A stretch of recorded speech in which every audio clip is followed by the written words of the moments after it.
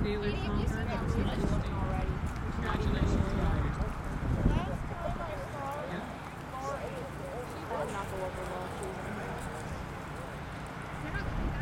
Okay, second place was number ninety-three, Nicola Penfold on Absolute Pegasus. And in class number eleven, our result.